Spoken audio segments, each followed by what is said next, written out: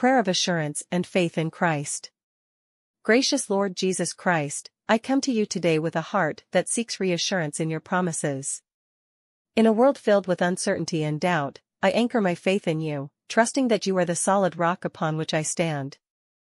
Thank you for the gift of salvation and the assurance that I am loved and accepted in you. Remind me that no matter what challenges I face, I can find peace in your presence. You are my refuge and strength, a very present help in times of trouble. Help me to remember that my faith is not based on my circumstances, but on your unchanging nature. Teach me to lean on your word, which is filled with hope and encouragement.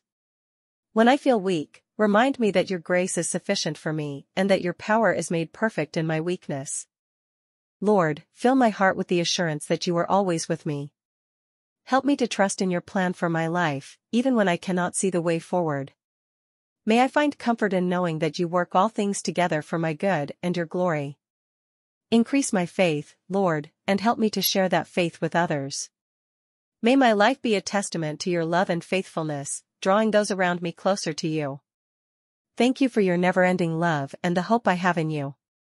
I place my trust in your hands, knowing that you hold my future. In your precious name, I pray. Amen.